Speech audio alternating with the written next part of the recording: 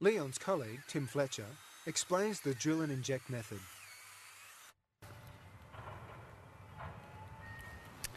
That's the drill and fill technique. We use it on small trees, isolated trees. They're too tall to foliar spray, but just a normal cordless power drill and some um, glyphosate. You can inject them into the stem, um, they'll die, and you can just leave them standing there and they break down over time. When we're drilling into the trunk, we try for a slight downward angle that helps retain the herbicide when you inject it into the hole. This is a cutaway section of the trunk. We drill in through the bark into the sapwood, that's the heartwood in the middle. Um, this is the area we want the herbicide to be in, so we're drilling at a bit of an angle. So we pick up most of the sapwood, we turn it around, we might go back that way, pick up this.